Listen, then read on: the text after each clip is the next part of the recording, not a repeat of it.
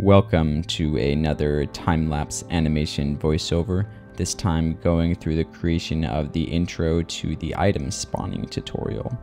Here at the beginning you can see I'm actually making use of the pose thumbnails add-on, a great add-on that I'm definitely going to do a tutorial on later.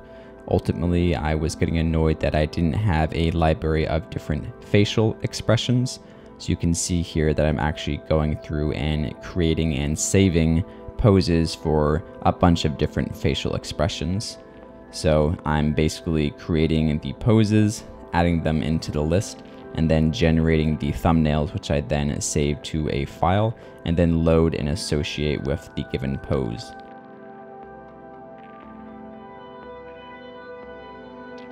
Part of what makes this consistent is also the use of selection sets kind of at the bottom right there.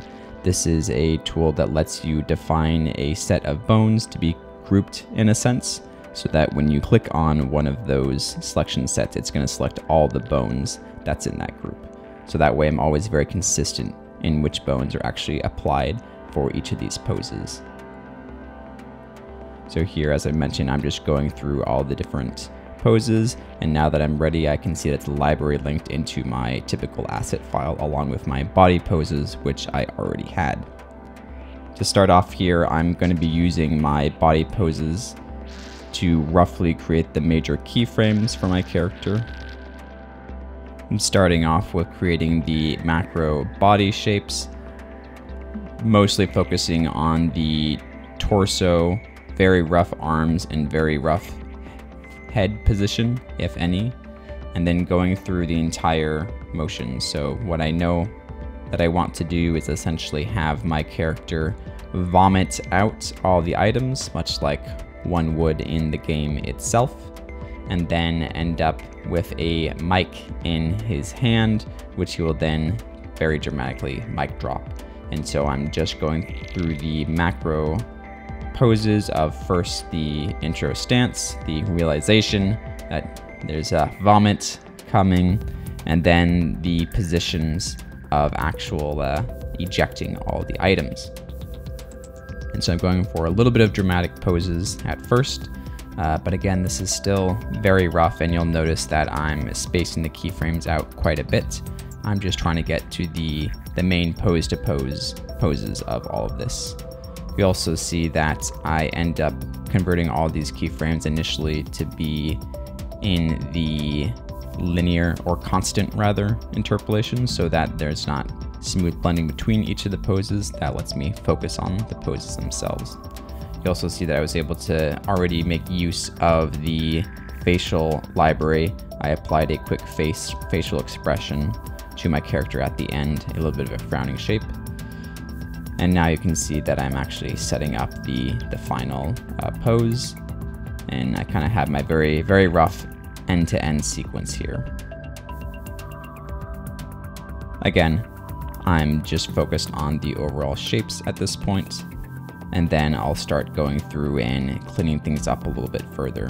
The next thing I was working on was actually creating a very simple mic item I didn't even end up texturing this. I felt that it was uh, at least simple enough and self-evident enough. You can see here that I was uh, a little bit struggling with uh, my familiarity with right-click select over left-click, so I briefly changed it to right select to do my loop selections, change it back after. I'm then just applying very simple materials, again, no textures, given how quickly I wanted to get through this and then I'm adding it as a group instance and attaching it to my hand. There's not a particular need to add it as a group instance, I just find that I do that to keep things a little bit cleaner in case I want to edit or have it in a separate place. I don't have to worry about it moving all over.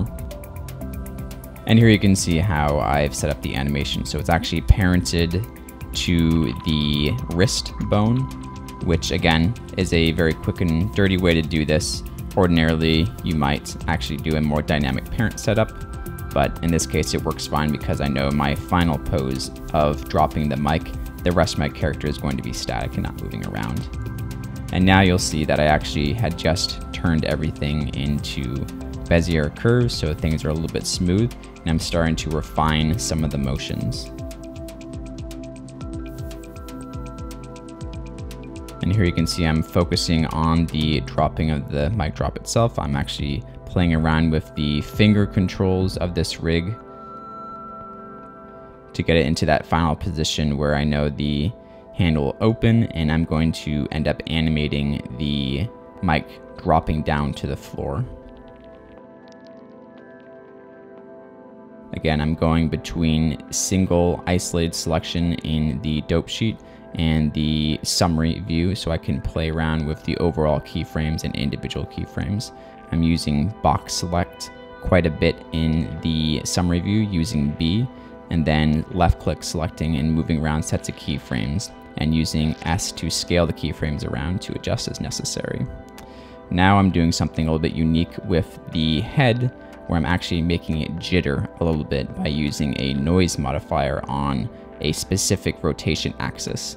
So you'll see in the graph editor how there's these little bars and little wiggles going between the keyframes.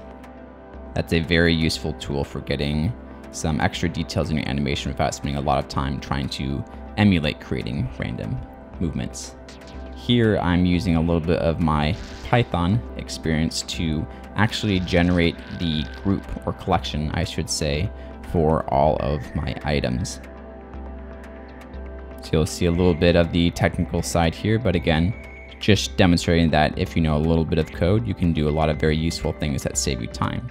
Ultimately, what I wanted was a collection that has around 100 to 200 all unique items that were generated by my item spawning capability in MCprep. So essentially what I'm doing is I'm going through via code all of the items in the item list, skipping the clock and compass items since I know there's a lot of repeated texture icons there, and then letting that actually run the spawn item. Uh, a few syntax errors the first couple times I tried to run this, but shortly after I'm able to get it to run, and then we end up with the 200 items being generated, noting on the right hand side how I had already created a collection called items vomit, so that way they were all generated and placed inside that collection. Now I'm adding just a simple mesh that will act as the particle emitter for my items. You'll see I'm named it and then I have actually parented it to the head of my character.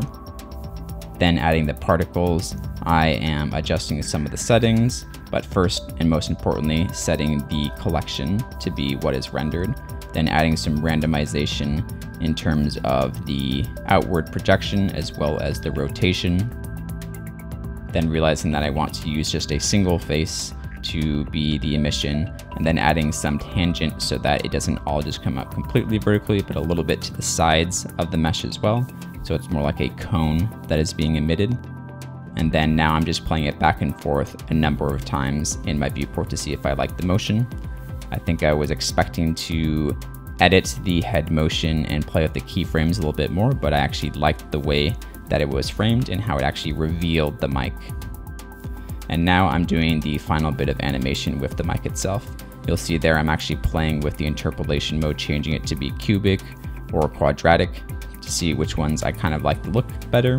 It kind of uh, changes how quickly it goes from one keyframe to the next without having to play too much around with the curve in the graph editor. Again, you'll notice that these are all very quick animations. I'm not spending very much time in the graph editor, which is where you normally would spend a lot of your extra time to get the details and motions just right. And with the microphone here, it probably would have been better if I used a quick physics simulation or something like that. But again, this was quick and dirty, and because it was parented to the hand, I'm just doing this manual animation to give it the dropping and bouncing effect a little bit. At this point, I'm just doing some refining animation, making sure that everything feeds together nicely, adjusting some of the head to make sure that not everything looks too robotic, robotic or in sync. So I'm sometimes adjusting the head to be offset to move earlier than the rest of the body. That kind of helps to break up what otherwise look like very static pose to pose animations.